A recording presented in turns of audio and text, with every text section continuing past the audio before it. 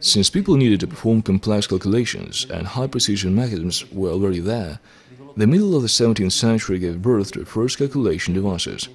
One of them was Samuel Morland's non-decimal adding machine invented in 1668.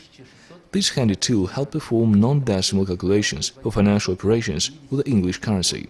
This machine is considered a good example of a mechanical pocket calculator, since it did not exceed 4.3 inches with just a quarter of an inch in thickness.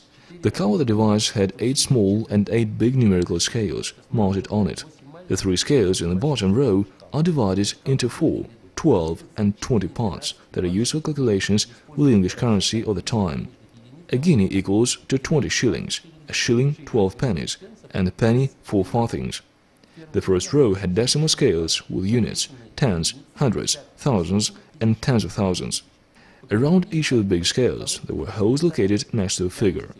To select a certain figure from this dial, one had to insert a stylus in the hole next to a selected figure and then turn the scale to the right for addition and to the left for subtraction. The window above the big dial will show the selected figure.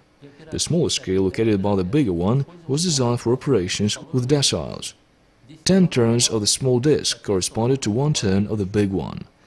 This small machine was offered to the public as a calculator device, which indeed makes it the first pocket calculator.